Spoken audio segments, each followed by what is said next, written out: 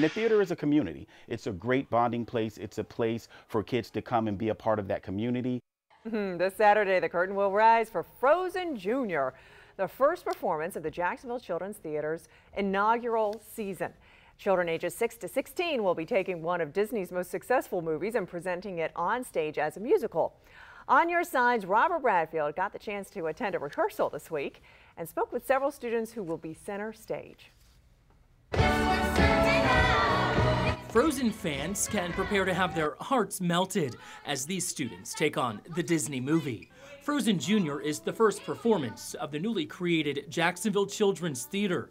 Its executive director is a youth minister and film major. You put that together with teaching kids how to do drama and how to act, and it was like the perfect setup for us. Maxie Coleman started the group with his wife, telling us theater saved his life after he saw his first show in high school. He took that passion for the arts and held a casting call for Frozen Junior with students across Duval County auditioning. He cast everyone who showed up and says it just so happened the leads turned out to be African American. The story of Frozen is a story about love. It's not a story about color. Playing the part of Elsa is 14-year-old Kenzie Hall. When she landed the lead, I jumped around my kitchen and I was with my family and I was like, I got the role.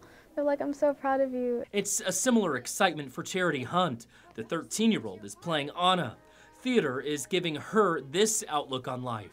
And people just like help you be the real you instead of hiding behind a mask and being someone you're not. Coleman and company have been rehearsing for about three months and are preparing for a different spring performance.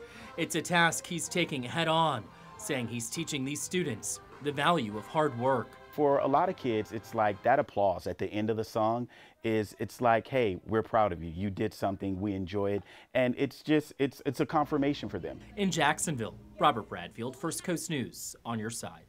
You know, they look good. Break a kid, uh, break a leg, oh, kids. I wanted to say break a leg, kids. That was so cool. Well, the two performances are this Saturday at 3 and 6 p.m. at Theater Jacksonville in San Marco. We do have a link to tickets along with this story on firstcoastnews.com.